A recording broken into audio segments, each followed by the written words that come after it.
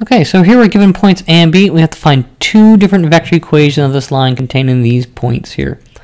So I know for my vector equation of a line, I need to have a vector, a starting point, and a direction vector.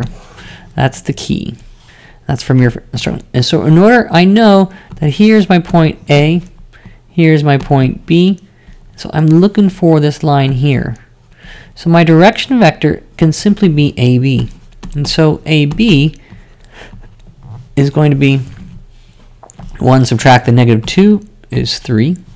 Negative 1 subtract 1 is negative 2. And 4 minus 3 is 1. Here is my direction vector.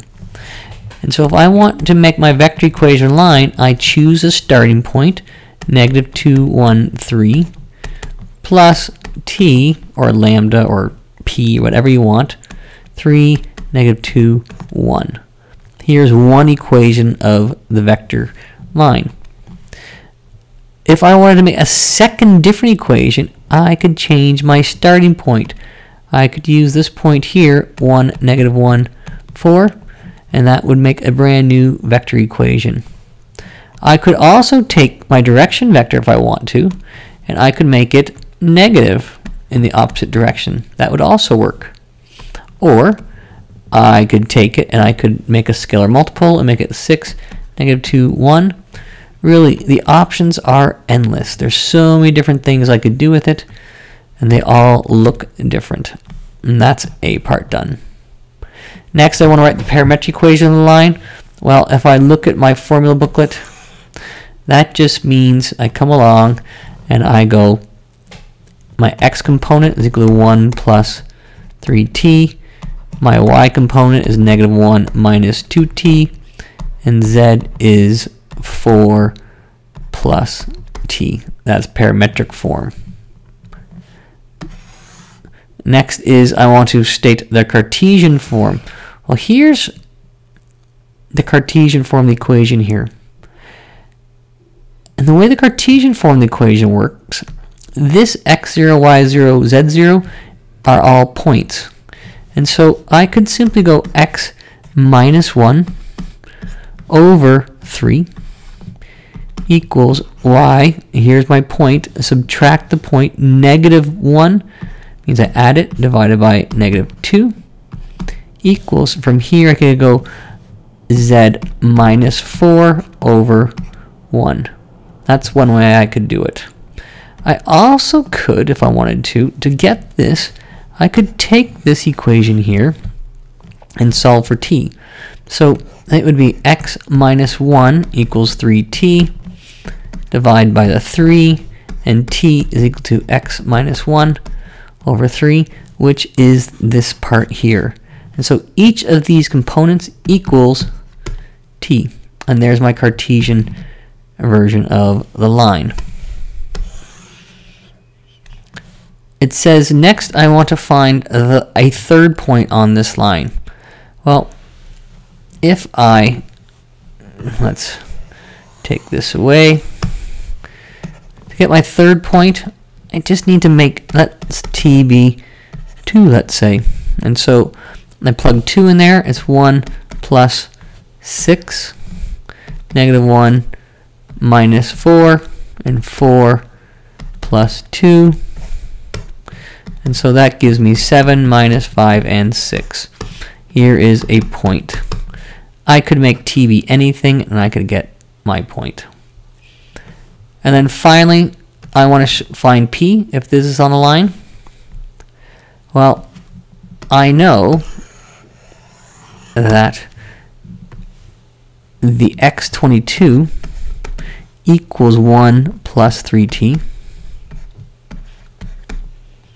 Which allows me here to solve for t. So I get subtracting 1, I get 1 is equal to 3t, 21, and so 7 is t. I can because this comes from this equation here, p is equal to 1, negative 1, 4, plus t, 3, negative 2, 1. I just took the x component here and solved for t. It's got to be the same t for the z. So P is equal to 4 plus T times 1, which is going to be 11. And so P is 11. And so we can find the different forms of the equation. We can use various information to find points on the line. We'll try another example. Here we're going to convert this equation to parametric and into vector form. Well, I'll do a couple different ways, but the first way I will concentrate on this. And I want to make it look so that it's a single x subtract a number. And so to do it, I'm going to take 2x minus 5 over 2. I'm going to multiply this by 1. But it's going to be a funny looking one. It's going to be a one that looks like 1 half over 1 half, because that will change this around.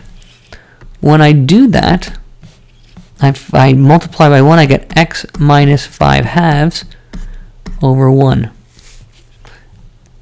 equals, this is oh, this is my another version of the Cartesian, and then I'm going to go to here. I could do the same thing here. I can change this to y minus 3 over negative 3. And I could also go do the same thing for this and multiply it by negative a half over negative a half, which will give me x minus 5 over 2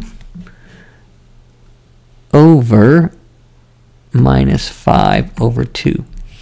And then I can just read the equation. I can read this equation. Here's my vector, or my parametric it's going to be. My parametric will be x is equal to positive 5 halves, because it's opposite sign, plus 1t. y is going to be 3 minus 3t. And z is equal to minus 5 halves minus 5, oh, positive 5 halves, opposite sign, over 2t. That's one way that I could write it into parametric. And vector form is very similar. r is equal to 5 halves, 3, 5 halves, plus t, 1, 3, negative 5 halves. There's the vector form. Another option I could have gotten to get to parametric form as opposed to just algebraically rearranging it, I could have taken each part and recognizing that this here equals t. So I could have said t is equal to 2x minus 5 over 2, multiply by 2, x minus 5, and then I uh, add the 5 over, 2t plus 5 equals 2x, and so x would be divided by 2, 5 over 2 plus t. This would be my x value. And if you see, it's the same as my parametric equation here. And so that's another way that I could have converted to parametric and vector form. Last example in this video, show that this point is on this line. Well, if it's on the line, I can set it equal to the line plus lambda 1, 3, 0. And so when I go across for my x component, I get 3 is equal to 1 plus lambda. And so lambda is equal to 2. Going to my y component says 6 is equal to 0 plus lambda, which is 2, times 3, which is a true statement. 6 is 6. And finally, negative 1 is equal to negative 1 plus 2 times 0, which again is true, is a true statement. Therefore, this point is on the line. It has to work for the lambda is the same for every single component. When I switch it then to the other point, okay, so I got 2, 3, 0, and so on. So 2 is equal to 1 plus lambda, and so lambda is equal to 1. I use that for my y component. So 3 is equal to 0 plus lambda being 1 times 3. So 3 is 3.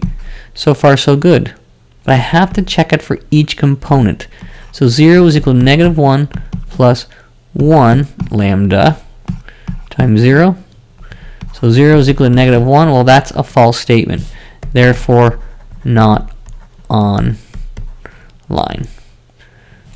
Alright, so there's lots of here for vector equation of line, and quite helpful along the way.